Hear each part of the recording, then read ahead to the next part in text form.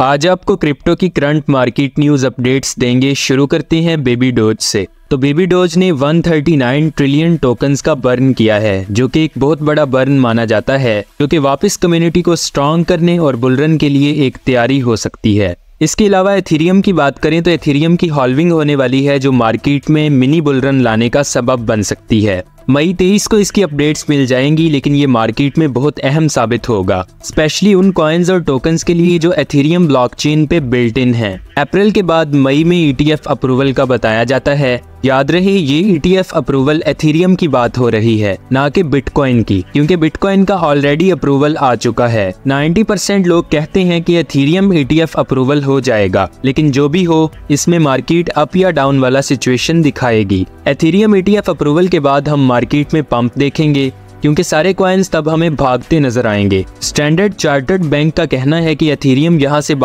चार हज़ार डॉलर के मार्क तक चला जाएगा।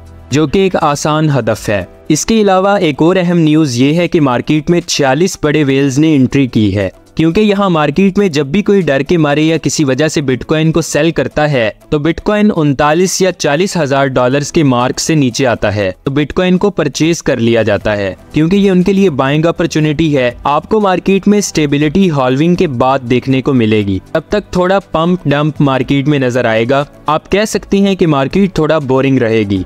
लेकिन दरमियान में मिनी बुल रन आते रहेंगे और अच्छे कॉइन्स पंप होते रहेंगे, जो आपको पैसा बनाने की अपॉर्चुनिटी देते रहेंगे। हम उम्मीद करते हैं कि करंट मार्केट न्यूज़ से रिलेटेड ये शॉर्ट वीडियो आपके लिए वैल्यूएबल साबित होगी। मजीद यूजफुल कंटेंट देखने के लिए हमारे साथ जुड़े रहें और वीडियो पसंद आई है तो चैनल को सब्सक्राइब और वीडियो को लाइक ज़रूर कर दें। शुक्रिया।